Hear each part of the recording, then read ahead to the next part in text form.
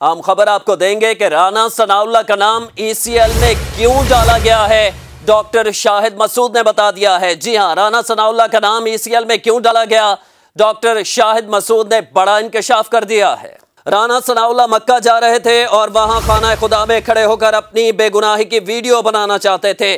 رانا ثناء اللہ اور شہریار آفریدی میں سے صحیح کون ہے؟ اسمبلی میں قرآن اٹھایا گیا۔